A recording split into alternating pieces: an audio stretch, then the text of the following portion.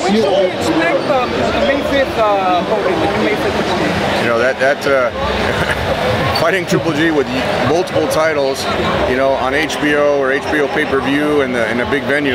You know, a lot of those things uh, take a lot of uh, a lot of time. Like I said, there's international TV, there's sponsorships. You know, when, when you when you go from the biggest fight in boxing to now going to uh, a fight that Gennady wants, you know, it, it just uh, it, you can't do that overnight. And, and, so got granted the approval on Thursday for uh, the MGM Grand Garden to move the move the uh, venue. So now we're working on uh, working out all the other details.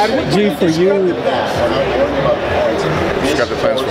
For this May 5th, I mean, at what point do you just say, you know what, let's fight it out? No, no, we have the support of uh, HBO and, and uh, you know, everyone, all the fans want to see Triple G fight. So, look, Gennady sold out the last eight arenas he fought at, whether it's in Madison Square Garden, whether it's the Forum in LA, whether it's O2 in, in London, whether it's uh, T-Mobile in Vegas. I mean, uh, Gennady is that universal, international world champion. So wherever you know decides to fight, uh, the, the, fans are right now they're wanting to see Triple G. Everyone asks me on social media when, when is he going to, you know, who's he going to fight? When are we going to announce it? And that's that's what we're working on right now. G, you said, or I'm sorry, Tom, you said yeah. that it's not going to be a southpaw.